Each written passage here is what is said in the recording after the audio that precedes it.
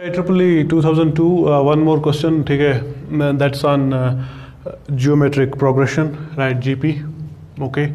Uh, given is that uh, you are given a fifth term, fifth term of GP is 2, uh, you are supposed to find the product of first 9 terms of the GP, right. Now, the solution, you must know the general term, that's it. Now, you know, in a GP, general term is AN, all right, then it is A, r n minus 1 r is the common ratio you know. A is the first term right? Now given is a 5 that's the fifth term. That's equal to 2 right? Now which implies in place of a you can write a r 4 because you will substitute for n 5 you will get 2 so this thing is now uh, we are asked to find the product of n. Now the first term will be this a. When you will plug in 1 this will be r.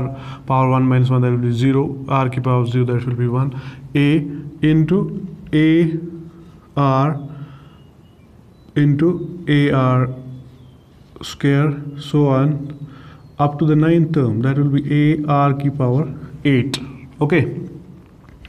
Now this is uh, how many times a? It's a is 9 times and uh, then you will get r.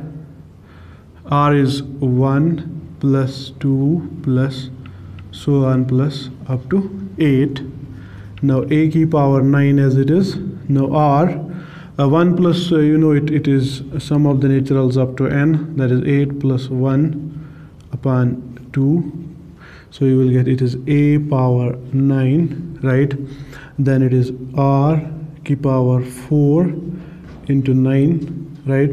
So it's a power 9 and then it's r key power 36 or you can write it as a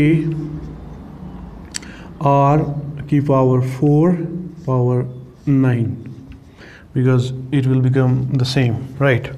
Now a r key power 4 you know the value that is 2 2 power 9 you know it it's 5 1 and 2 okay?